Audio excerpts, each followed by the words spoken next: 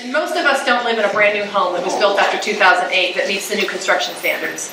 Most of us live in older construction. So what do we do for our existing homes? What can we do to, to retrofit those existing homes? So today's presentation is really th about thinking about what kind of exposure your home is likely to experience and what are the small details that in many cases are not very costly that you can uh, adjust to really substantially improve the, out, the likely outcome of your house when it experiences wildfire. So today, um, I'm going to talk about this concept of fire resiliency, uh, but it's in context with lots and lots of pieces uh, of, of, of action, right? You know, so we've got weather forecasting and alerts, like are you aware, are you prepared? How do you evacuate? What does that evacuation look like? Are you prepared for both lanes evacuating out? Um, you know, having communities ready to be able to really uh, think about rapid evacuation is a huge and significant challenge. Uh, you know, what's the role of wildland management, fuels reduction, uh, you know, and this is where most of our discussion has been about, about how do we reduce the fuels in the community. Um, but there's so much more in fire resiliency than just this component. There's also roles that you know open space and agriculture provides, both as uh, safe zones for retreat if you need to, and, and providing buffers for, for uh, urban communities. But then we have to think about infrastructure protection, like our utilities, our, uh, our water resources, our hospitals, you know, all these critical pieces that need to function in the middle of a, of a, you know, a significant fire event. So what do we do to try and address these issues? And so there's a combination of kind of land use planning, which deals with zoning and building codes, uh, but there's a whole element about fire resilient homes, and you'll hear the term fire hardening. Um, I don't know what the right language is to grab people's attention, but this has sort of been the um, untapped component in this conversation. Most of the focus has been on wildland management and on alerts and forecasting, but not sort of connecting all these dots. And so it's exciting, I think, uh, where the time and place we are, because we're having a much more enhanced conversation about the, the interactions and the intricacies between all these components. So today's presentation is going to be broken into four parts uh, about you know, how homes burn from wildfire, what can you do about the vegetation and landscaping near your home, uh, where the vulnerabilities are in your home, and then uh, an analysis of the resources that are available. Um, my information uh, is largely from a colleague, Dr. Steve Quarles, uh, who was a, a, durability expert, someone focused on wood products and how, how they performed through time. Uh, he retired from the University of California and I worked with him 10, 15 years ago on a number of, of important educational components. And then he went on to the Insurance Institute for Business and Home Safety. And part of that um, interest was because he got a lab much bigger than this building a lab big enough that he could build homes and then expose them to wildfire and then look at them in a very uh, empirical way to figure out what exactly the failure point was and be able to compare one product to the other and provide independent testing. Because you know every supplier of a product always says they have the best product, but really is there that third-party verification behind it? And so Steve would, would do that analysis as well as really show the pathway of entry into homes. And then um, he's recently retired from that organization and come back as an emeritus within the University of California. And so together we've been really trying to amplify these issues because there's not very many experts in the, in the United States or in California that understand these relationships and are backed by data to be able to, to help people make wise decisions. So this would be an example of, of that laboratory he has available. Um, and so how do homes burn from fire? Most people think it's about direct flames, a flaming front that's going to come to your house, right? You know, there's going to be a wall of flames, and then your house is going to just rapidly combust. Um, that's one type of, of, fire exposure. There are two others that are really important to understand. Um, the most important being embers, so that is burning bits of vegetation that get picked up in the air currents and moved long distances, maybe as much as a mile away. And those burning bits of vegetation find some weak point in your home or find something uh, that's ignitable to, to, to land upon. Um, there's also another important part, and that is radiant heat. So when your neighbor's house catches on fire, depending how close your neighbor's house is to yours, your house may be overwhelmed by that radiant heat. So if you ever had a wood stove and you put something too close to that wood stove and it starts to smoke, That's a great example of radiant heat. You didn't have direct flame contact, but you had enough heat to, to create that. So I'm going to explain all three of these and sort of show where the vulnerabilities are in the house. What most people don't understand is that windblown embers are responsible for the majority of ignitions. And you can see this time and time again where you have a home that's gone and the, and the surrounding trees, the surrounding vegetation wasn't touched. So what happened here? How did that home catch on fire? It's almost like, it seems like it's the impossible odds. And yet they seem to burn from the inside out. And that's because of embers. And so I'll show you a couple examples of it. This comes from South Lake Tahoe and the Angora fire, uh, which was a game changer as well. Here's another example. You look at that house, or, or the footprint of where that house was, look at all that green, and you'd think, of course it had amazing defensible space.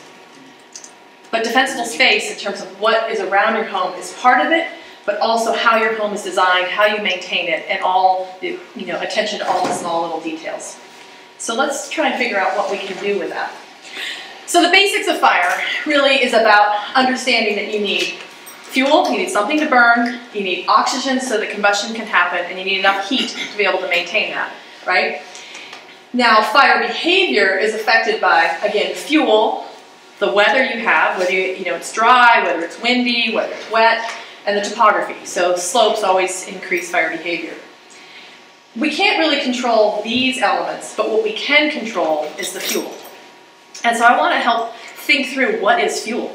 You know, typically fuel is chaparral, it's, it's trees, it's, uh, you know, the things that we think of as natural vegetation.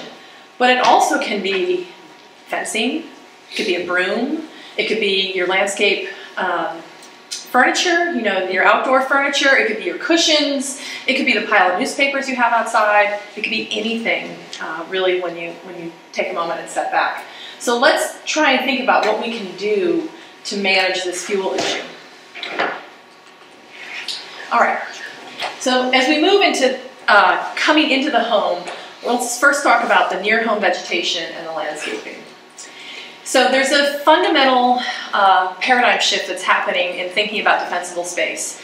And uh, until really a few years ago, most of the focus of defensible space was on two zones. And the 30 to 100 foot zone, so this component here, um, and I'll, I'll, explain that in a moment. And then a, a, larger zone about 30 feet outside and around the house. Um, but, but when you look at all the graphics, the infographics and the guidance, it was pretty silent about what's right next to the house. And we've developed an aesthetic in California. Um, it, I think partly it's thankful to Sunset Magazine and Frank Lloyd Wright and this idea that our home is not beautiful unless it's anchored by vegetation. No, none of us want to see our foundations. We, we want to have this little curtilage zone where we put our flowers and we put our shrubbery and you know we, we, we attach the home to the ground by this uh, vegetation. Well, that vegetation is creating significant vulnerabilities in, in, our, in our ability to to resist fire. So we've now expanded our educational materials to talk about uh, a five foot zone around the house and any attached deck, under and around any attached deck. And so uh, I'm working on some um, policy work right now that really codify the importance of this, this zone. Um, and so, you know, I believe that we can get to that aesthetic appeal that we've had, uh, but we just need to think about it in a little bit different place. We tend to have the house, the garden beds, and the walkway. What if we have the house, the walkway, and the garden beds, right? You still have that visual anchoring. You still can drive up and see the garden beds, uh, but it would be much better for our house if we had the walkway on the other side and closer to the house. Okay, so here's an example. This is what the standard has been out there. You can see the visual, this idea that, you know, if you live in a forest environment, uh, that you've got a reduced fuel zone, you've got trees that are separated from each other, and you've got uh, vegetation more in islands.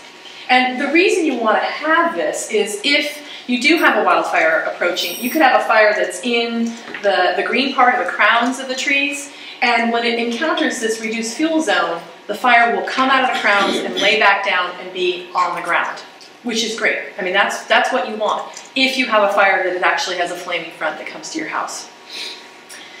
But as you can see in the, in the visuals that have been standardly available, there's this idea that you know, we can have all this vegetation right next to our house. So if you have an ember driven fire, you can see how this material can just come right over that, that, um, that defensible space in the kind of classic way we've thought about it up until now. So here's some points of illustration. This is from Redding. This is uh, relatively close to where the fire tornado came through. This is a surviving house. I don't know um, whether there was firefighter response on this house, um, but Redding was pretty overwhelmed when the fire tornado came through, which came through kind of right over this zone. You can see this nice green lawn, and so in most of you know my time before, I would look at that and go, hey, it's great.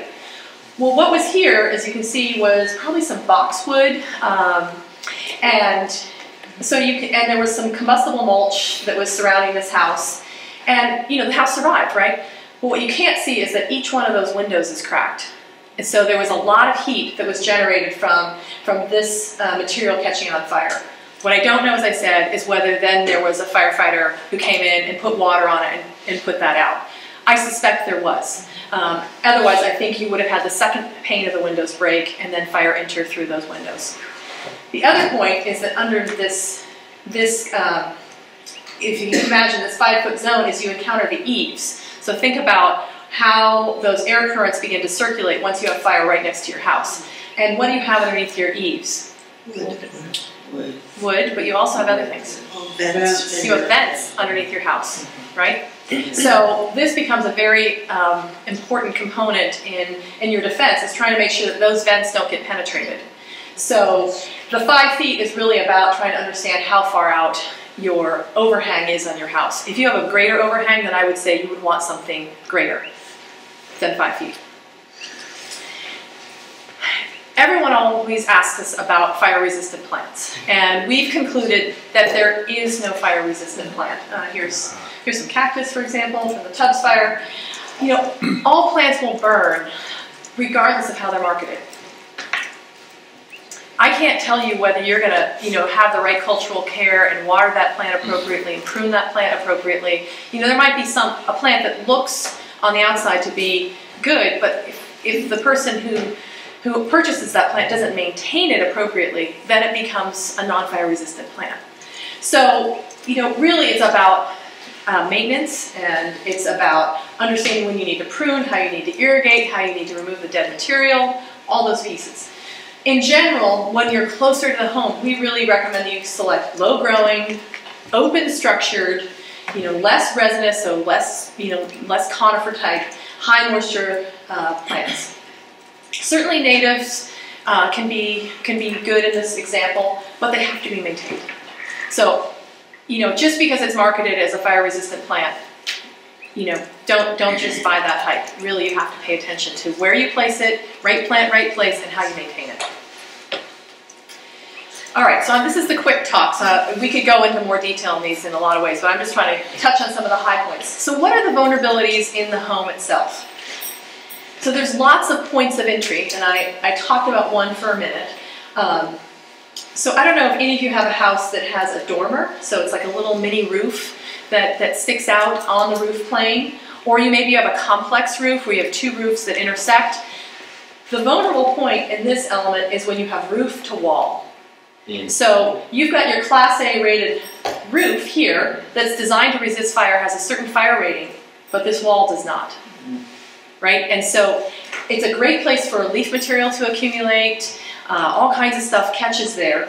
And you know, even if you do a really good job of trying to maintain that, what I've seen in most of these recent fires is they tend to have big wind events with them, and all kinds of material comes down the moment that the fire is really starting to get going.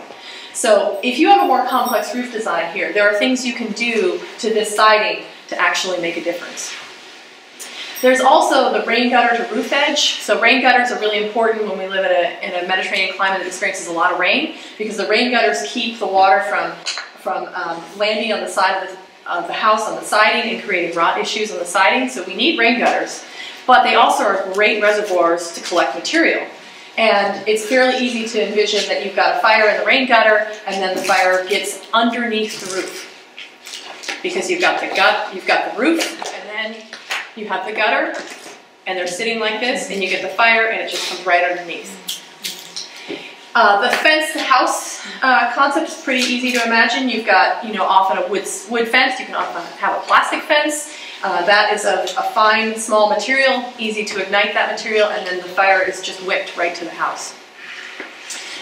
And then these are examples of, again, coming back from that lab where you can instrument the inside of an attic and look at the points of entry. So embers are being blasted at a house, blasted like hail, you know, hitting at high intensity, and they find their way into these vents, the gable vents, the under-eave vents, and these are the sparks of those embers coming into the attic. Do any of you store anything in your attic? I do, right? Uh, so what if it lands on my kid's schoolwork, like I store in my attic because I can't figure out where else to put it? Boom, instantly I have a fire inside my house and the house is burning from the inside. All right, these are all things that we can do something about. So structural survival has lots of priorities. The most common one that people want to ask me about is, oh, I should replace my siding. I want you to look at where this sits in the priority. The siding is down here in number six spot. So the most important parts are the roof edge and the vents, and that's because of embers and the type of exposure that, that those, uh, those components may, uh, may experience. Kind of coupled with all of this is really that vegetation and that defensible space and that zero to five foot zone. It's not to say that, that out to 100 is important, I just want you to work from the house outward. What I see most people have done have worked from the 100 foot inward because it's their curtilage zone, it's their special place. But if you reorient and start thinking about what could ignite right next to my house and then work your way out, you'll, you'll do a lot to protect yourself. And then from, from there, then we're going to talk about windows, decks, and siding. So uh, these are all exposed to both embers as well as radiant heat, as well as direct flame contact. All right. So roof is the number one priority. Uh, look at the roof and look at the roof vulnerability points. There's, uh, you can often have a vent along the top of the, of the roof cap here, uh, a through roof vent, which is great. You can have roof to wall, you have skylights, you have roof edges. Each of these places make a difference. So if you have a roof that's getting old, that is in need of repair, and you feel like you're in a fire prone area, here's another reason to replace that roof. When you replace that roof, you need to understand that there are, there are places where there are nooks and crannies where embers can get in, especially if you have some type of tile roof. So this is a terracotta uh, tile roof example, and this roof is designed to have what's called bird stopping. Um, so it's a, it's a clay that uh, seals up the edge of that roof, and you can imagine that a bird would find a nice little home in there. Well, an ember could also find a nice little home in there. If you have a terracotta roof, please inspect your edge and understand that that edge is really important uh, and really critical. If you have you know, other types of tile roofs, you can see these kind of gaps that are easily penetratable by uh, an ember or, or some other critter too. Um, the other piece is that you need to have a piece of metal flashing at the edge of the roof. Mm -hmm. So you have your roof, so you have your roof decking, you put a piece of flashing like this, it's a really cheap piece of flashing, um, and then the roofing goes on top of that, and then the gutter sits up next to it. It provides a metal continuous edge there. It's code, it's standard, but you know, if someone's on the cheap, that little detail could be missed and that's important. Or if you're doing it yourself, you got to understand that that little piece of flashing makes a bigger difference than you, than you might realize. We talked briefly about this, about how litter accumulation, um, and I'm sure if you go back and look at your own homes, um, you'll see these places of, of connection and you'll see that they become a great location for material to accumulate. So, you know, make that a pattern and a process to regularly try and try and move that material as best as possible. The longer it sits there, the more it anchors in and the harder it is to remove.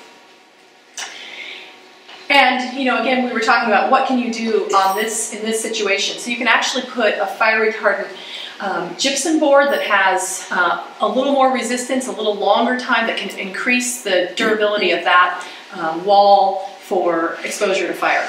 So there's some modifications you can do that would be relatively inexpensive. Uh, again, if you have wood siding here, I might replace it with some fiber cement siding, um, knowing that this is a, a place that you would have a lot of potential for exposure. So again, just re-hitting this idea of gutters and the importance of gutters and how to clean, clean gutters. There are some gutter guards out there that are designed to keep the material out. Um, none of them have been tested for how they perform in fire. Um, we're interested in trying to take that task on. If you do have gutter guards, I think they make sense just uh, thinking about them, but you're going to want metal gutter guards, something that's not combustible, because if you have a plastic gutter guard, then you certainly have something that can catch on fire. There's a difference between, here's a plastic gutter versus a metal gutter. The metal gutter is going to stay anchored, it's going to, it's going to burn until that, the material is exhausted. The plastic gutter will actually melt and fall away and then create an exposure on the side of your house. So depending on what, what it lands on, there may be another issue there. Here's an example of a Carr fire. This is a survivor home. Um, this fire started with the, the gutters themselves and there was a bunch of maple leaves that were stuck in these gutters. And I happened to meet the firefighter who responded to this to this actual house. It was really interesting. Randomly, we connected. He was from Mendocino County, and I said, "Hi, I've got this great picture of, of this example here." So the gutter caught on fire, and then it moved into the attic as, as I expected, and then they had to cut some of the, um, the roofing panels out to be able to respond to it. And they were able to extinguish the fire, though this house is probably damaged beyond what most people's interest in repair is.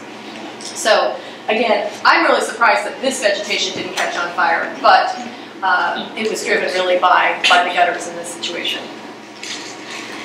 Skylights. Everybody loves skylights, but you need to be able to maintain them.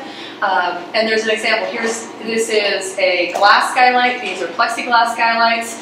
Um, you know, plexiglass ones are, you know, have some some performance, you know, improvements in that they uh, you know, keep the vegetation away. Uh, they're not rated as well as the glass one is. The whole point is that you want to keep the material off your house. And if you can, you know, you may just need to really step it up significantly if you have this kind of situation. Okay, priority number two, the vents. So there's through roof vents, there's gable end vents, there's foundation vents, there's underneath vents. Let me explain what vents do. Vents are like Gore-Tex. Vents let the hot air out, the hot moist air out often, but they let cool air in and they create circulation. So these vents underneath let air in and that allows the house to exhale out these uh, through roof vents on the top. The gable end vents also cause uh, an opportunity for air exchange across a very simple roof like this. So you need vents. Absolutely need vents. Otherwise your house is you know, going to rot on the inside. Then you also need these foundation vents so that you can let the earth pass out that moisture from underneath the house. All this are super important. But vents, as we showed, really can be two-way exchange for um, material coming in as well as uh, letting that moisture out. So what can we do about that? Well, uh, until recently, the existing code for vents was quarter inch. And that quarter inch is too big. Uh, it allows those embers to enter. So we're recommending that you move to eighth inch vent screens. This is something that you can tack on on top of your existing vents now. This can be a, a, a low cost modification, um, but there are a few other options that are now available. One thing to be careful with is as you go to the smaller mesh screen, if you're painting, you can easily fill the smaller mesh with paint if you're if you're spraying, and so you can clog up all that mesh. So you, they need to function, right? So protect your vents. Be careful about them.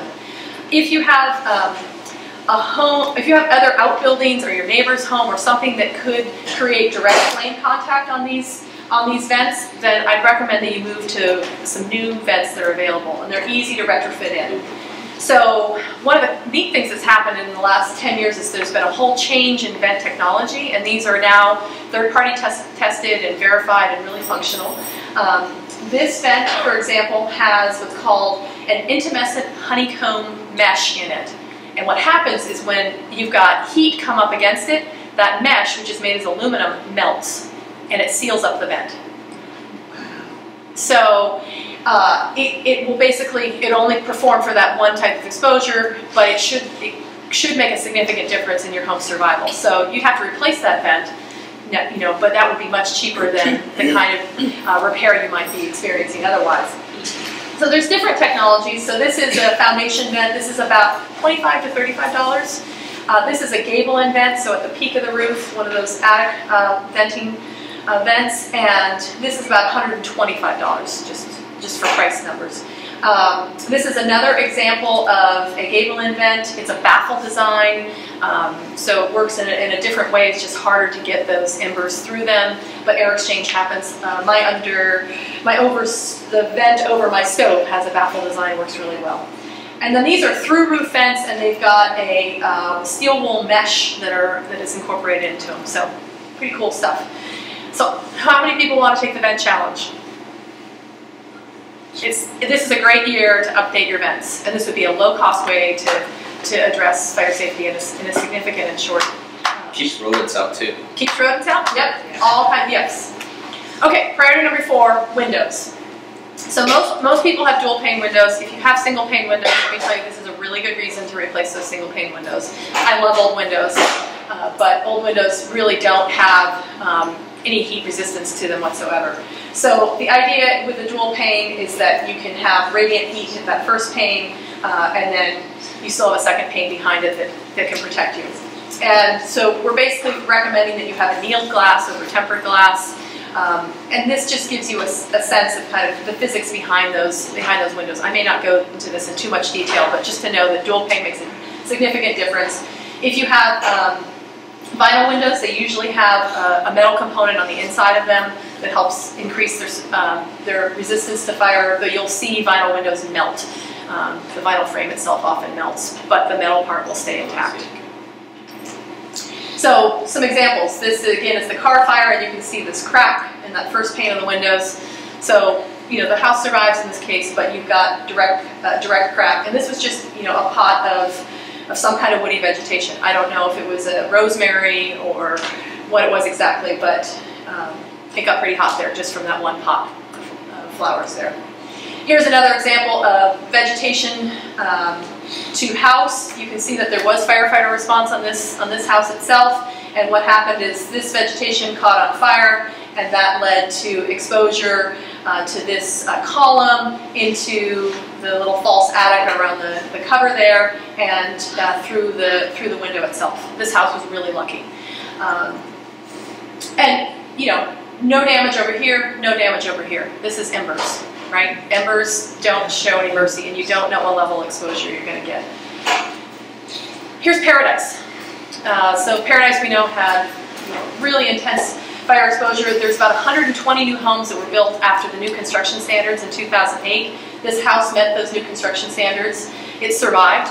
I don't know if it had firefighter response. Most every house in this neighborhood did not um, survive. They're a little older. But you can see on this cushion that was behind this house how much ember exposure this house got. You see all these little melt points. In, in the lawn, these are the kinds of embers that the house was getting attacked with. Um, these are probably construction embers at this point, so the neighboring houses are on fire and those are embers coming from that burning house, not just from the, the wildland.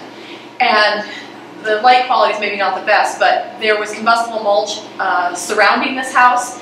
Every one of the windows are broken. So a simple little change of putting the walkway a little closer to this house, pulling the vegetation back just a smidge, and I, my guess is there would have been no damage to this house at all.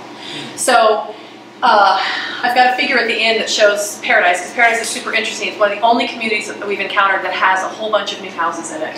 120, that's a whole bunch. But we can see how through the decades what home survival was like. It increases through time and it makes it, it makes a jump in the, in the last decade. Um, but only 40% of the houses survived that were built after 2008. And I believe that it has a large part because the codes have been totally silent about what's right outside the house. And what happens with time, right? The vegetation grows, we accumulate more stuff, you know, we're pack rats by nature, and so, you know, this house wasn't that old, so there wasn't that much stuff outside. The older, the longer, the older the house is, the longer that we live there, the more the vegetation's grown, the more that there's fuel surrounding our houses. Okay, priority number five, decks and deck attachment. Um, so certainly wood is combustible. I, I, won't, I won't deny that. But do you start a fire, like a campfire with a 2 by 6 No. No, you're always going to start with something smaller, right? You're going to start with leaf material, little, little branches or twigs or kindling. So decks by themselves don't just ignite. They have to have something that's going to ignite them.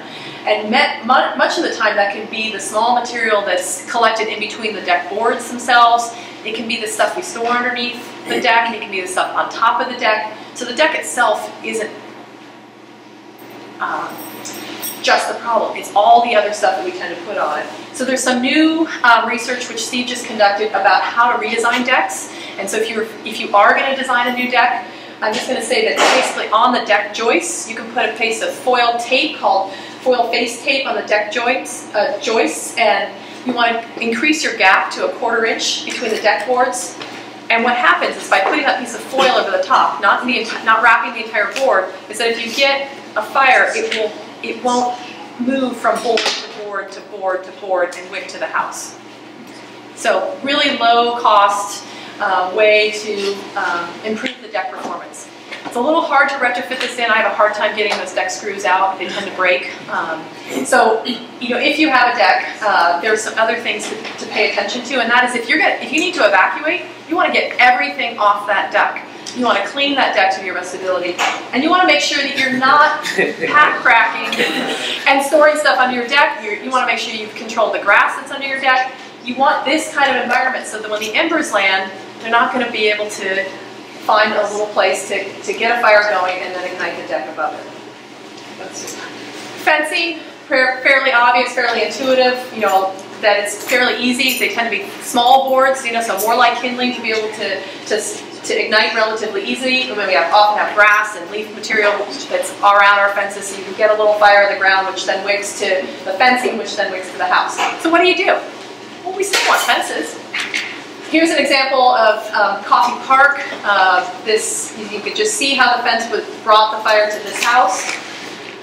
So what you do is you replace the attachment point to your house with something metal. So again, you practice that zero to five non-combustible zone so that if you do have a fire, it's not brought directly to your house. Okay, I'm almost done here. But the other challenge is we know that a neighbor's home can very easily be in your in your defensible space zone, it can be close to your home. Coffey Park was a great example of that.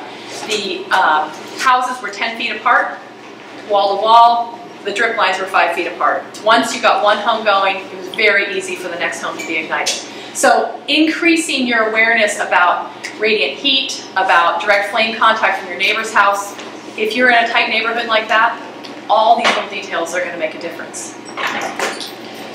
So just as I you know, wrap up, you know, the roof, again, is really the, the place to focus your initial efforts on. Um, and if you're getting a new roof, you want to make sure that you've got a Class A rated roof.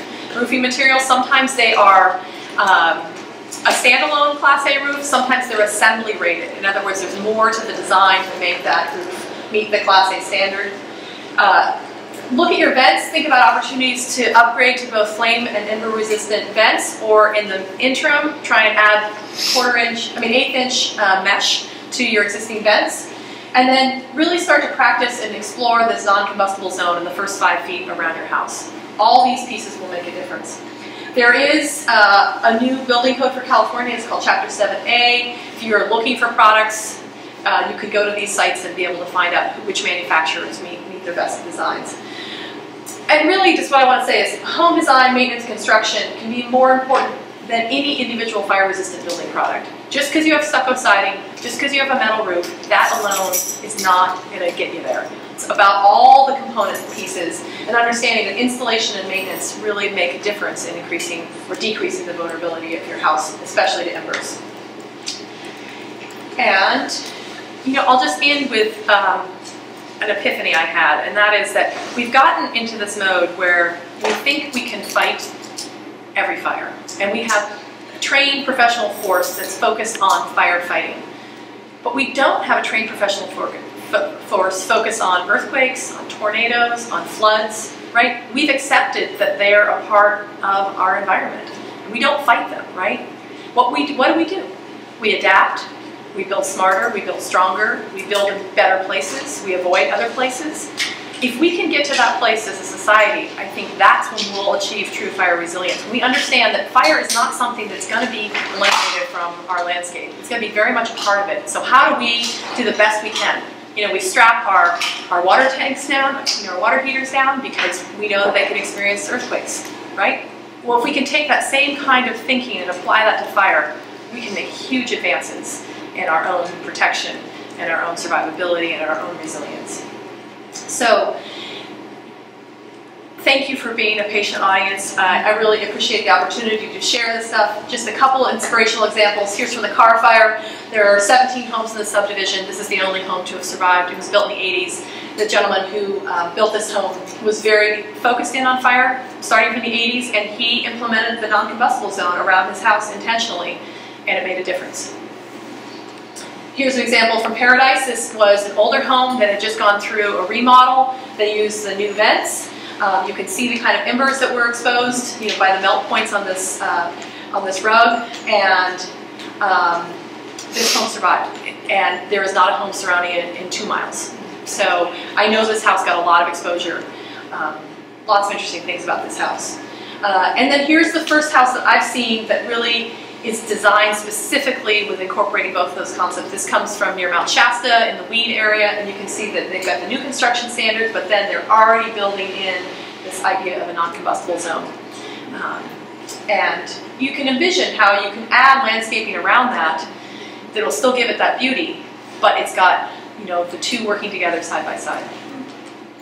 So there's lots of educational materials. You all have uh, the link to to this, uh, you, you all have the, this talk, and so each of these um, websites are linked and you can learn more about the kinds of things that I'm talking about here. And I'll just conclude by saying, showing you the, the data that we have on Paradise, which I find quite interesting. So these are in 10-year bins. Uh, this is the, the running average of total survival in 10-year bins. Here's where you can see the new construction standards come in. And, you know, the trend line is up, which is great, but we need to do better than that. It needs to be much higher. So, you know, if, if we can start to implement all these concepts, I think we can make a significant difference. Thank you.